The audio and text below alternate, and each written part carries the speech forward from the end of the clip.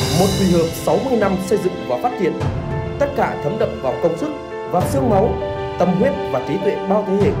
để có quỳ hợp như hôm nay. Ghi dấu trong nhiều lĩnh vực, hạ tầng giao thông, công nghiệp, nông nghiệp, có nền văn hóa truyền thống đậm đà bản sắc dân tộc. Một quỳ hợp luôn nghĩa tình trọn vẹn, luôn đảm bảo an ninh quốc phòng và luôn vững vàng vượt qua thử biến cố.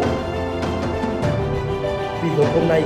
đã hội tụ đủ tiềm năng và lợi thế vươn tầm cao mới